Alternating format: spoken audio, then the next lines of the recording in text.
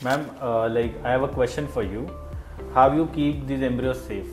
So embryos are stored in under liquid nitrogen, which is at one minus 196 degrees centigrade. So they're in suspended animation, and there's a particular address for each embryo, and they are stored in something like this called a daisy goblet, which goes under the liquid nitrogen on a straw. On the straw, there's always the name of the patient, the date we froze, the unique identification code of the patient, and also the name of the husband. So we are sure that this belongs to that particular patient.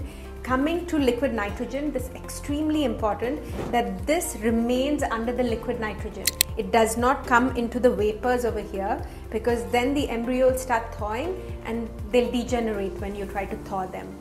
Every day at Mamata Fertility Hospital, we check the liquid nitrogen levels and top it up to make sure that they are under liquid nitrogen. There is a 24 hour monitoring happening over here, and even this room, this facility has a alarm system which will make us know immediately if anything goes wrong and we have a 24 hour technician in our place to make sure that everything is safe.